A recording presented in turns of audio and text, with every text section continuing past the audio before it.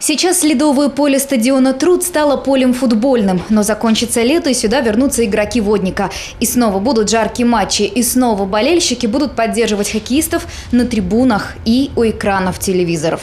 В руководстве спортивного клуба шутят. Сотрудники канала ПС пропишутся на стадионе. Следующий сезон для желто-зеленых юбилейный, клубу 90 лет. Прямые трансляции игр в рамках чемпионата России продолжатся. Кстати, в этом году матчи водника в интернете смотрели больше 12 тысяч зрителей. Многие болельщики в своих чатах э, признавали, что это шла лучшая картинка, которая была на тот момент в России.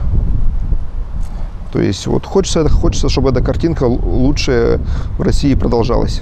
В том, что ПС заразил любовью к спорту сотни мальчишек и девчонок, их мам и пап, уверен спортивный комментатор канала Николай Мердеев. Для него вести прямые репортажи в новинку. Признается, сначала волновался, но азарт игры сделал свое. Первый комментарий с детского футбольного турнира «Локобол».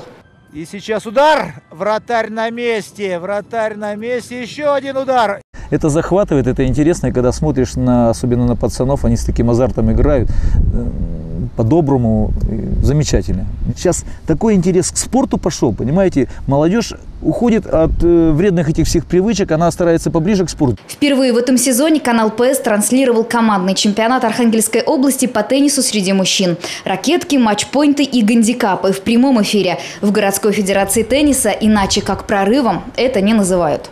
Даже были определенные споры о том, кто будет играть именно на этом корте, потому что игры происходили на двух кортах, а трансляция была только с одного. То есть э, людям хотелось попасть на экран. Люди, которые смотрели трансляцию, им было это интересно. Им были интересны комментарии, которые осуществляли наши же теннисисты. «О спорт, ты мир» – эти слова, сказанные Пьером де Кубертеном, для каждого спортсмена объяснений не требуют. Канал ПС делает этот мир динамичный, азартный, радостный, ближе каждому. Елена Матвеева, Сергей Минин, Панорама Севера.